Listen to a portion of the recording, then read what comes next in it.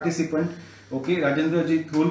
What I expect from him, okay, you can start with your detailed introduction, your qualification, your work experience, what motivated to join the CAP training, and in last 5.5 months when you completed training, what change happened in you, specifically reference to financial planning, investment, okay, wealth uh, uh, or portfolio management, and what change in your th- thought process what change uh, in your uh, thinking about the investment okay? And uh, what benefit you have gained in last 5 months in your personal and professional life and how you will help your uh, first as a yourself as an investor family and then your uh, clients. Definitely then i will interact with you also. Uh, good morning, friends. very good morning sir. Myself, uh, Rajendra Thul, retired from Mahagenco ex M S B as a superintending engineer I am basically bachelor of engineering graduate in mechanical engineering मुझे, बड़ी खुशी हो रही कि मैंने ये certified financial planner का course join किया। मुझे इसके पहले फाइनेंस के बारे में ज़्यादा आइडिया नहीं थी, थोड़ा बहुत था और वैसे मेरा इंटरेस्ट भी था। मैंने रॉबर्ट कियोसाकी का किताब पढ़ा था रिच डैड पुअर डैड उसमें क्लियर कट लिखा था कि पूरे वर्ल्ड में ही फाइनेंशियल इलिटरेसी है। तो अपन ने ये इलिटरेसी कैसे लाई जाए और लोगों में कैसे अवेयरनेस लाया जाए तो इस बारे में मुझे थोड़ा बहुत आइडिया थी।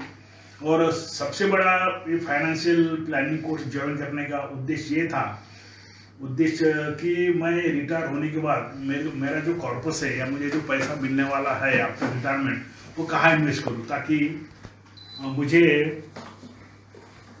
ये मंथली इनफ्लो आते, आता रहे। तो कांस्टेंट टच में था और थोड़ा बहुत म्यूचुअल फंड की आइडिया थी।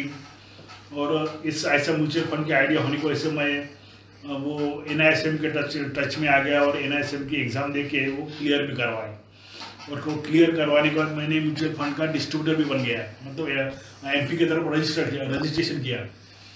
और जैसे रजिस्ट्रेशन करने के बाद मैं वो कांस्टेंट वो देखते देखता था म्यूचुअल फंड से वो। कुछ क्लाइंट्स भी मेरे टच में हैं। लेकिन मुझे बेसिकली ज़्यादा आइडिया नहीं थी टोटली फाइनेंस की। तो मैंने अपने अपने क्लाइंट्स को एट रैंडम कुछ भी फंड्स के बारे में पता था। मुझे बेसिकली ये ज़्यादा आइडिया नहीं थी कि कौन से, मुझे फंड्स में इन्वेस्ट करना। बस ऐसे बता रहा था। लेकिन जैसे मैं अभी अभी मुझे पता चल रहा है कि मैं फाइनेंशियल प्लानिंग का कोर्स ज्वाइन करने के बाद कि कौन से फंड्स में इन्वेस्ट करना। और मैंने तो अपना इन्वेस्टमेंट किया था। स्टार्टिंग में मैंने भी ऐसे ही एटेंडम इन्वेस्टमेंट किया था, कुछ अमाउंट का। कुछ डेप में किया था डेप म्यूचुअल फंड में और कुछ इक्विटी म्यूचुअल फंड में किया था। पूरा ये इक्विटी में नहीं डाला था थोड़ा थोड़ा डाला डाल रहा था और सीखे रहा था। ऐसे करते करते मैं भी एक हमारे दोस्त के टच में आ गया। हम्म, मैं उसका नाम लेना चाहूँगा। वो वो फुले जी जो अभी जिन्होंने भी अपने चारों मॉड्यूल ये एग्ज़ाम के पास किए हैं। और उन्होंने फिर मुझे परस्यू किया उन्होंने मुझे बताया कि भाई ये कोर्स करने से क्या क्या फ़ायदा होता है। तो फिर मैंने बोला कहाँ करना कैसे करना? और ऐसे करते करते मैं हमारे क्यूर सर के टच में आ गया। टच के आने, उनकी वीडियोस देखे। और वीडियोस देख के मैं काफ़ी मोटिवेट हो गया ये कोर्स करने के बारे में। और फिर मैंने ये कोर्स इमीडिएट ज्वाइन किया तीन जून को। मुझे याद है वो डेट जब मैंने पहली बार वो सर से बात किया था और मैं काफ़ी मोटिवेट हो गया था और इमीडिएट उनकी तरफ़ ज्वाइन किया। और फिर अपना ये कोर्स की तरफ़ आने लग गया। और जैसे जैसे हम कोर्स के आगे बढ़ते गए, वैसे वैसे मेरी आइडियाज़ क्लियर होती गई। चाहे वो इन्वेस्टमेंट के बारे में रहे या लोन्स के बारे में रहे या फिर डेप्स प्लानिंग के बारे में रहे। अब, और मुझे ये आते, याद आते गया कि मैंने कहाँ का ये मिस्टेक्स किया, कैसे कैसे अपने लोन्स लेते गए और कैसे कैसे ये इंटरेस्ट पे करते गया, ज़्यादा का इंटरेस्ट पे करते गया। तो दोस्तों, ये फाइनेंशियल प्लानिंग कोर्स करने के बाद अब मेरे इन्वेस्टमेंट जो भी है, मैं प्रॉपर कर पाया और मुझे पूरा कॉन्फिडेंस आ गया कि मैं इसमें से कैसे अपना ज़्यादा का इनकम या जो भी मुझे लगता है वो कैसे मतलब जनरेट कर पाऊँ। तो और अभी ये कोर्स का लास्ट डे है। मैं बहुत सेटिस्फाइड हूँ ये कोर्स करने के बाद। और तो आपको कैसे हेल्प होगा आपका सेकंड करियर प्लान करने का? आप और- इन्वेस्टर बन तो गए बट अभी आप सेकंड करियर को कैसे आप स्टार्ट करेंगे? डेफिनेटली ये ये कोर्स करने के बाद मुझे एक एक होप भी मिली है कि मैं ये सेकंड कैरियर भी क्या मुझे कर सकूँ।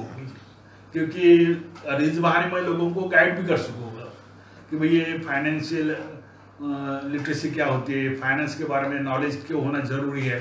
और इस बहाने मेरा एक सेकंड कैरियर भी हो जाएगा। और मेरा जो बचा हुआ जो भी है वो इसमें मैं अपना ड्योर कर पाऊँगा। और एक ऐसे कैरियर करके भी मैं प्लान कर पाऊँगा और उसमें भी कुछ इनकम जनरेट कर पाऊँगा। तो ऐसा इस बारे में मेरा और आपने पिछले साढ़े पाँच महीने में क्या देखा कि लोगों कौन कौन टाइप की गलती लोग नॉर्मली मार्केट में करते हैं जो इन्वेस्टर्स रहते हैं यंग इन्वेस्टर या रिटायर्ड इन्वेस्टर कौन कौन सी टाइप की उनसे गलती होती है? और आपने कैसे उनको हेल्प किया, वो एजुकेट किया, वो गलती करेक्ट करने में, या उनको गाइड किया? हाँ तो इस बारे में ऐसा है कि सर, मैं इसके पहले जिन जिन एडवाइजर के टच में आया था तो वो एडवाइजर मुझे रिटर्न देख के कोई भी म्यूचुअल फंड्स का रिटर्न्स देख के ये बताते कि भाई ये फंड अच्छा है। और मैं खुद भी वही करता था कि भाई ये ये फंड के रिटर्न देख के मैं उसमें इन्वेस्ट करता था। या फिर समझो कोई वो value research online dot com है उसमें वो स्टार्स देख के मैं इन्वेस्ट करता था। रिटर्न्स और स्टार्स तो ये पता चला कि इसमें कोई प्रॉपर इन्वेस्टमेंट नहीं है ये। उसमें एक तो एडवाइजर भी प्रॉपर गाइड नहीं करते थे। उनको कोई फंड में यदि ज़्यादा कमीशन है तो वही वो अपने को वो फंड्स के बारे में बताएँगे और उसमें इन्वेस्ट करने को लगाएँगे। उसमें क्या होता था कि यदि एक आधा फंड यदि परफॉर्म कर ना पाए तो वो डाउन जाता था। तो उसमें एक लोगों में ये मिसकंसेप्शन आता था कि भाई म्यूचुअल फंड्स में इन्वेस्ट करना गलत है। जबकि ऐसा नहीं है। म्यूचुअल फंड में यदि आप लॉन्ग टर्म के लिए इन्वेस्ट करते हैं तो ये डेफिनेटली तुमको या सभी लोगों को मोर देन टेन परसेंट तो रिटर्न देता ही है। इक्विटी म्यूचुअल फंड रहे और यदि आपने को शॉर्ट टर्म के इन्वेस्ट करना है तो आप डेफिनेटली डेप्ट म्यूचुअल फंड में इन्वेस्ट कर सकते हैं। वो नॉर्मली वो अपना जो फिक्स डिपॉजिट है जो कि भी जो कि टैक्सेबल है एफडी में टैक्स लगता है। और अपना यदि अपन ने डेप्ट म्यूचुअल फंड में इन्वेस्ट किया तो वो टैक्स निकलने के बाद लगता है। यहाँ तो जैसे ही अपन ने इन्वेस्ट किया तो टीडीएस चालू हो जाता है। तो ये फ़र्क समझ में आया। हम्म, तो इसलिए मैंने जैसा अपना पोर्टफोलियो कुछ डेप्ट में रखा कुछ इक्विटी म्यूचुअल फंड में रखा और ऐसा पोर्टफोलियो मैनेज किया ताकि जो रिटर्न्स है वो दस परसेंट के ऊपर आए। तो ये मेरे में एक काफ़ी मेरी थॉट प्रोसेस ही चेंज होगी और मेरे में परिवर्तन आया ऐसे बोल सकते हैं। और सर और कुछ? ओके सो विल डिस्कस तो अभी हम आगे बढ़ते हैं। हमारे पास निर्मल जी है। So Nirmal ji I request कि you can give your introduction Yeah, hi, I'm Nirmal Shimali here. I'm currently working with ICICI Bank in wholesale banking group, MNC division, and uh, I'm there for last seven months.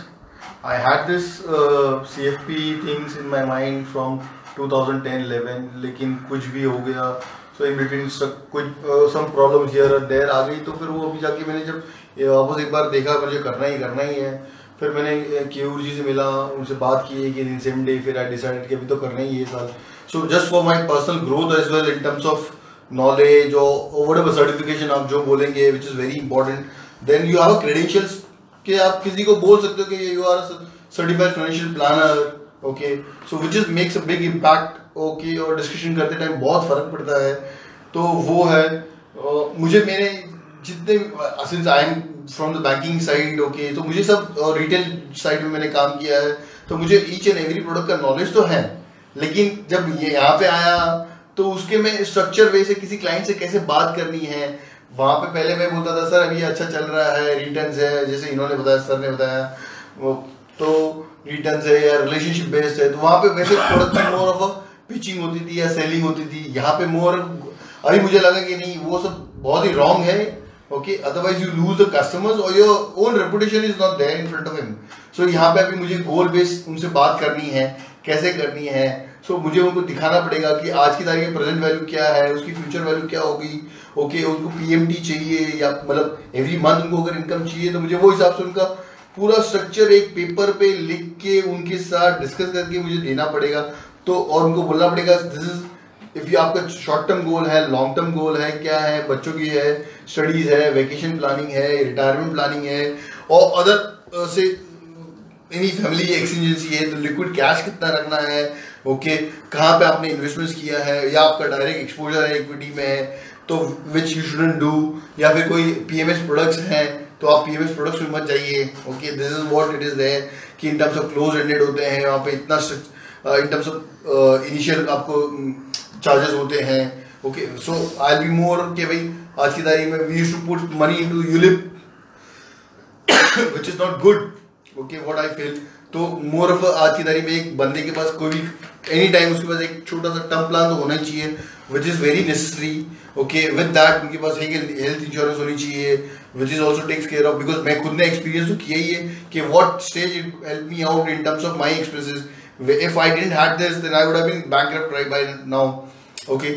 और जब भी मुझे ज़रूरत पड़ी तो which is sensibly जो भी मैंने लास्ट मोमेंट पे भी इन्वेस्टमेंट्स किए हैं बट इट गॉड से good help me out in the last moment जब मुझे चाहिए था ज़रूर की वैल्यू सो so, यही है। कि मैं वही बोल रहा हूँ कि जैसे करेक्ट एसेट एलोकेशन वाइज से how much is there in equity और how much is in debt okay whether it is direct bank F Ds हो गई किसी की शॉर्ट टर्म के लिए या रिकरिंग डिपॉजिट्स हो गई या फिर डेट लिक्विड फंड्स हो गए या फिर लोन्स हो गए लोन्स की रेट्स को मतलब उनके एडजस्ट uh, करना है okay if they are having with the NBFC और इफ़ दे बिकम बैंक और उनकी सिविल हिस्ट्री अच्छी है ओके okay, तो उनको बेटर रेट्स कैसे मिल सकती हैं? So we can just advise them in terms of loans also loan scheduling वगैरह। मतलब इन टर्म्स ऑफ़ कि आदमी अगर जो कैश रिच होता है okay then he is good so never be in the debt trap कि it's like EMI is EMI okay and never go for any kind of EMI as such okay unless and until it is very necessary for you. Okay so that's good good Nirmal ji, आपने बहुत अच्छा describe किया। तो आप बताएँगे कि last 5.5 month में आपको क्या पर्सनल बेनिफिट मिल रहा है? यानी कि इनकेस आप कोई प्लान कर रहे थे तो वो गलती आप अवॉइड कर सके अपने लिए? So so so I was thinking of buying new home as such और shifting from there my current location to this more near to the Bombay side in terms of so वो भी मैंने सोचा कि ऑब्वियसली आज की तारीख में देखूँ तो किड्स की एजुकेशन भी है so I have kids okay so education हो गया या any other expenses okay which is very huge okay and if आज, अगर मैं इन्वेस्टमेंट नहीं करूँगा तो I will fall into the debt trap okay again back again so I don't want that debt trap to be carry forward to my kids as well okay so it's like कि मैं rightly investment करूँ, और if even if I have to go for say rented house I will be okay with this okay तो मैं summarise करूँ तो निर्मल जी का एक एस्पिरेशन डेफिनेटली हर एक व्यक्ति का होना चाहिए, हर एक फैमिली का। तो उनका एस्पिरेशन था कि जो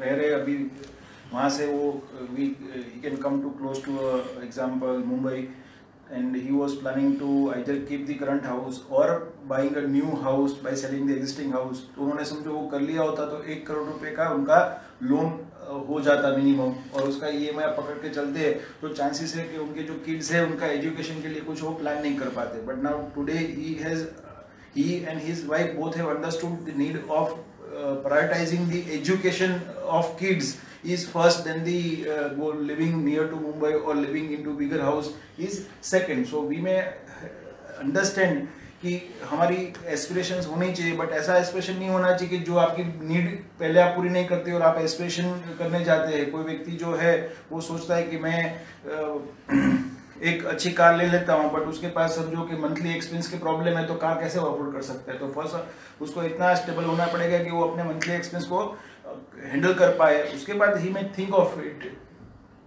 okay now we are moving towards our third participant Rahul ji is not with us I request you come here Anant ji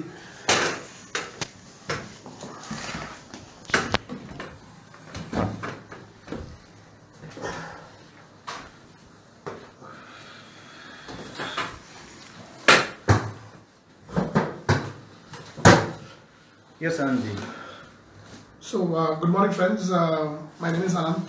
Uh, I'm an ex-advertising professional. Uh, I joined uh, the CFP classes of Keyur Shah sir uh, back in July, and uh, out of a lot of lot of contemplation uh, whether I should pursue this course or not, uh, I finally came to him.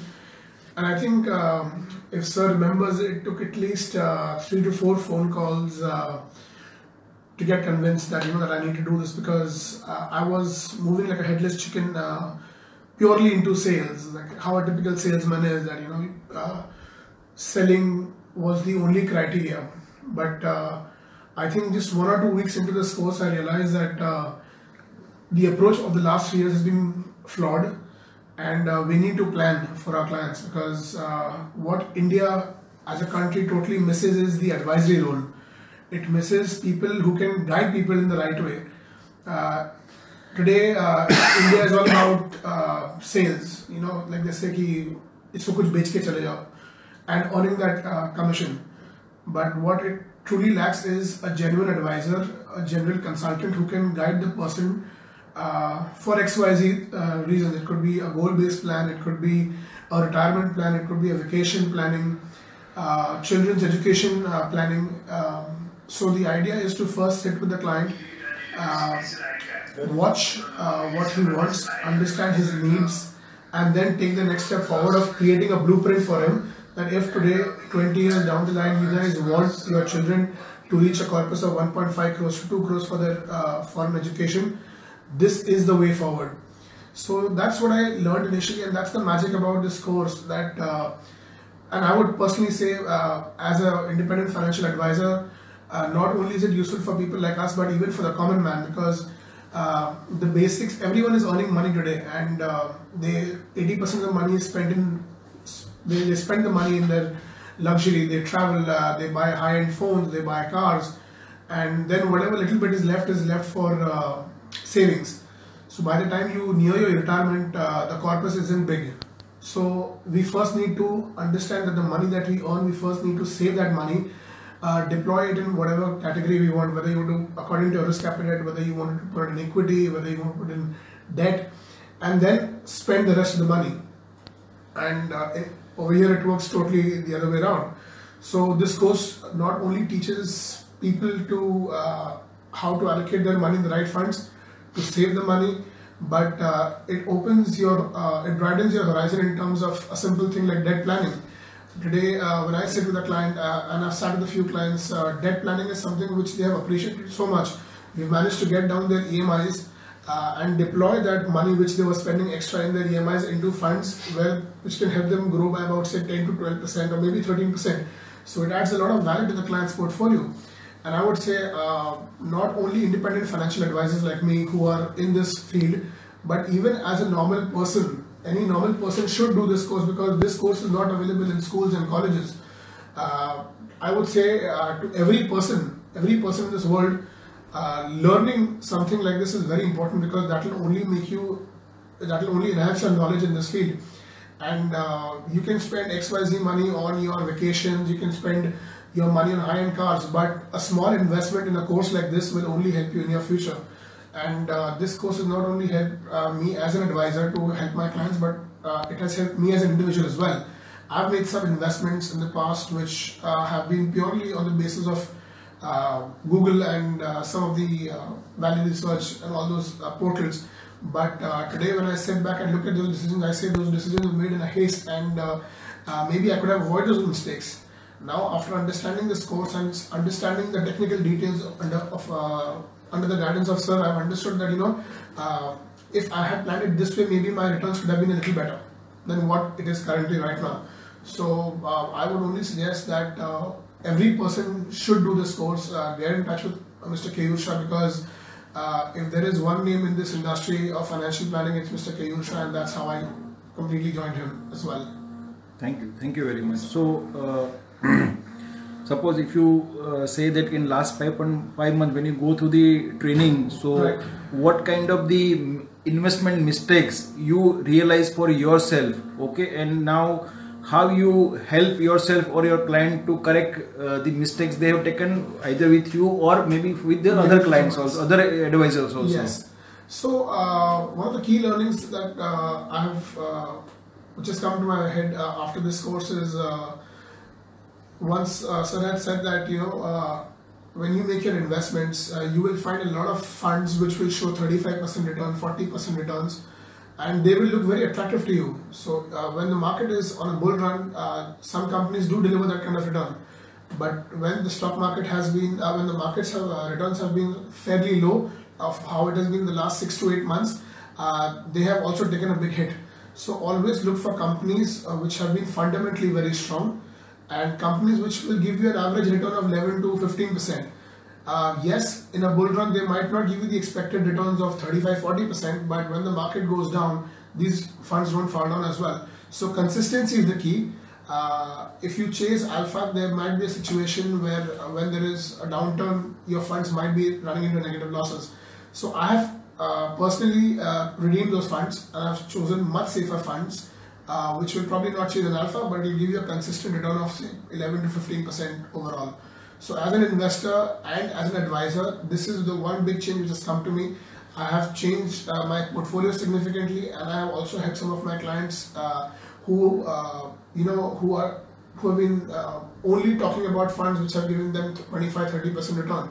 So yes, maybe one or two of them can be there, but overall we have to go for safety and we have to make the client understand that consistency is the key and just not your five-year return which you would see in a newspaper or on any portal on the internet. Okay, so let's summarize the discussion and uh, with summary, let's start with the one key message to your investors, maybe existing investor or your potential investor. What is your one key message? Uh, My my one key message to uh, my potential investors or my current investors would be uh, number one, always invest with a goal. Mindless investing will lead you nowhere because when you go with mindless investment, uh, there can be a situation where you know you will redeem your funds immediately, or you know you might uh, either uh, look at a short-term profit or wealth creation. Whenever I talk to my client, I talk about two things: Do you want a short-term profit or do you want wealth creation? Wealth creation is always time-bound; it will always take time. Like they say, Rome was not built in a day. So you have to give your time, you have to give your investments time to grow. Otherwise, you will end up, you know, if you make a 12% profit, you'll immediately capitalize on it, redeem the money, and probably walk out and get rid of an investment which would, could have given you 3x or 4x the amount of money over a period of time. So, patience and consistency is the key, and always invest with a goal in mind.